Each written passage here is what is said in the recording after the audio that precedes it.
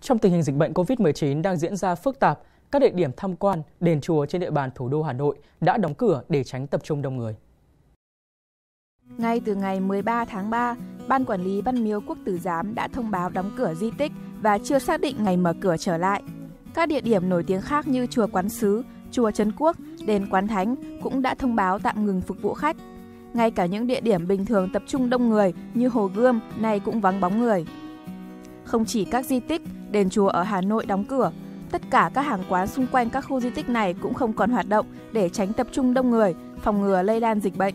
Việc đóng cửa theo chỉ đạo của Ủy ban nhân dân thành phố Hà Nội là việc làm cần thiết trong giai đoạn đại dịch Covid-19 đang diễn ra phức tạp.